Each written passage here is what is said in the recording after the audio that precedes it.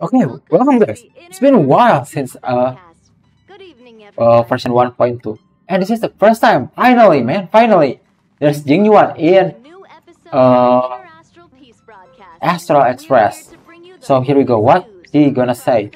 Man. Some things must be seen to be believed. The Express is so much more interesting than. of course. Of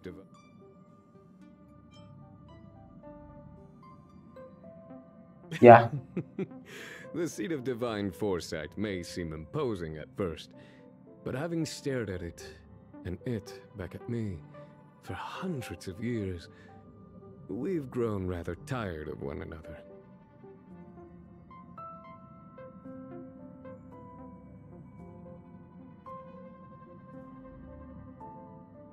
It feels as if the heart and mind are wiped clean when looking into the distance. Ah, I forgot to mention, this is a personal visit to see Dan Heng and everyone else on the Express.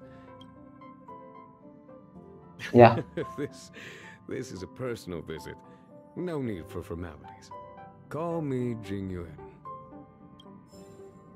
Good, there you go. 10. Okay, I think that's it. Nothing uh, strange, nothing funny. No uh, hint of secret. That's it. Just some 哲也